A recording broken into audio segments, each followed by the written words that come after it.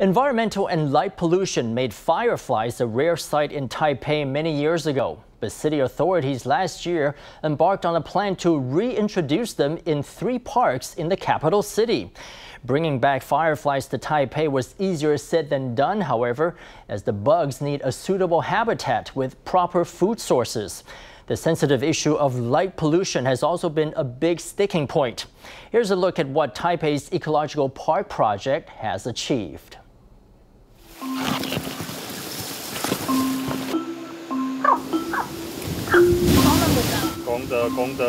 The tiny points of light occasionally poking out of the darkness are just what these two men are looking for tonight fireflies. They plan to take the fireflies they collect here in the suburbs of Taipei and reintroduce them to new habitats within the city itself. Wang Yi-jieh is concentrating on a pipette while feeding a recently caught firefly. He is the student of Professor Yang Ping-shih, whose nickname is the NTU godfather of fireflies. Wang explains that fireflies are carnivorous insects which breed in water. Fireflies are actually a type of insect that is prone to killing others of its kind. It's easy for fireflies which are smaller or trying to shed their skin to be eaten by bigger ones. Today, Wang is moving firefly larvae from the laboratory into their new home in nature. A group of kids are on hand at Rongxing Park to help out. They first let a bit of pond water into the paper cups to help the firefly larvae adapt to the water temperature then slowly pour the contents into the pond. The operation ends in success. The nonprofit organization Society of Wilderness began construction of Rongxing Park's ecological pond in January 2015, marking the first step in reintroducing fireflies back to Taipei. Similar projects in Da'an Forest Park and Mujia Park followed soon afterward. Fireflies are a symbol of the city and an important indicator of whether we take the issue of ecological integrity seriously. Experts have suggested that we, the Taipei city government, start our repopulation efforts in these three locations because the likelihood of success is greater. In the past, fireflies were found throughout the Taipei Basin but light pollution and environmental contamination contributed to the disappearance of the insect's habitat and a sudden decline in their population. Today, there are isolated remnants of firefly populations in Four Beasts Mountain and in the other hills surrounding Taipei. Because of Taipei's development, firefly habitats disappeared, so where did they go? They've shrunk down to only the areas around the mountains now. To welcome fireflies back to Taipei, volunteers have been working diligently to renovate and maintain the ponds so that the small insects can once again illuminate dark city nights.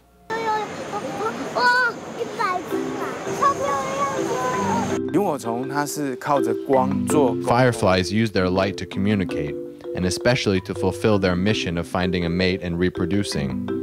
The females light up when near the ground, and when a male sees the female's light while flying around, they will descend almost as in free fall and land next to the female. During firefly breeding season in April and May, Rongxing Park has undergone special preparations to make it a better environment for the bugs. So as not to affect the safety of pedestrians, the park shut off 12 lamps specifically in a bid to help us promote firefly breeding. We've taken other steps to limit light, such as painting this bathroom window black. Bringing fireflies back to Da'an Forest Park, the biggest park in metropolitan Taipei, represented an even more difficult task. High rises surrounding the park create severe light pollution, and workers face the challenge of preparing proper water and food sources, including snails, a favorite of fireflies.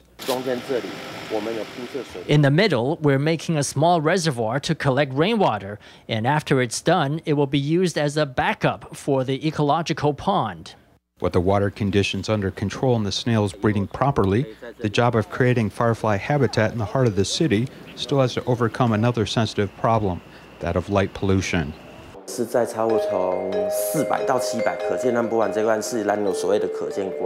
To address the problem of light pollution in Da'an Forest Park, Wu Jiaxiong worked with researchers from local lighting company Everlight in a search for a solution. In the open areas near the ecological pond in Da'an Forest Park, removing street lamps could affect public safety, so the Firefly repopulation team instead switched the light bulbs in the lamps to a type which was designed specifically not to disturb the fireflies.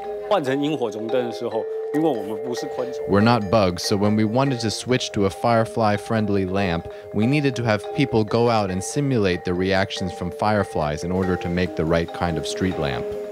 Six months after they took on the project, the new street lamps with their amber colored light were installed along the shore of the ecological pond.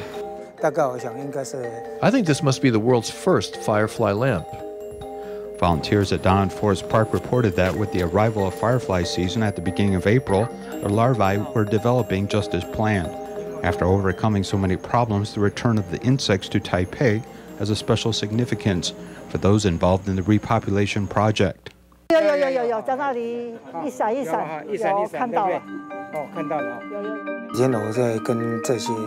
These last few days I've been chatting with passersby, and I think a certain sense of happiness has returned. The light from these bugs has already brought forth countless smiles from the people of Taipei. But now initial reintroduction efforts must be followed by careful long-term observation and preservation of the insects' natural habitats. The bright future of fireflies in Taipei will depend on the care and effort of all the city's residents.